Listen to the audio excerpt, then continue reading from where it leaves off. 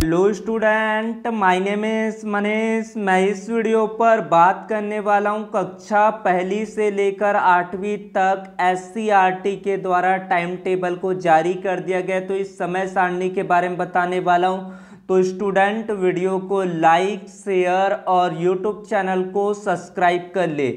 सभी स्कूलों में एक ही तिथि में तिमाही आकलन यानी कि त्रैमासिक परीक्षा 26 सितंबर से होने वाला है। तो पूरा टाइम टेबल इस वीडियो पर देखते हैं और एस के द्वारा प्रश्न पत्र को दिया जाएगा। तो सबसे पहले बात करते हैं 26 सितंबर को छठवीं का हिंदी का पेपर होगा, सातवीं का गणित होगा, आठवीं का विज्ञान होगा। 26 सितंबर को 27 सितंबर को गणित का पेपर छठवीं का, सातवीं का होगा अंग्रेज़ी, आठवीं का होगा हिंदी।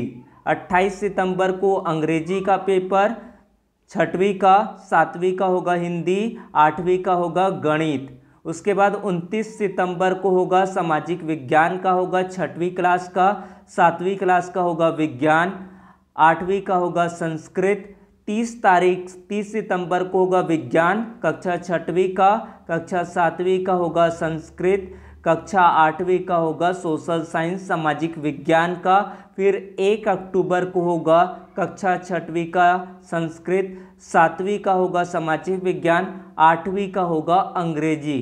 कक्षा पाँचवीं का ये टाइम टेबल है, इसको आप यहाँ से देख सकते हैं। पहला पेपर होगा अंग्रेज़ी, छब्बीस तारीख को दूसरा होगा आपका गणित पेपर होगा सत्ताईस तारीख को, अट्ठाईस तारीख को होगा हिंदी और उनतीस तारीख को होगा पर्यावरण। पाँचवीं, छठवीं, सातवीं, आठवीं का टाइम टेबल यहाँ से आप देख सकते हैं।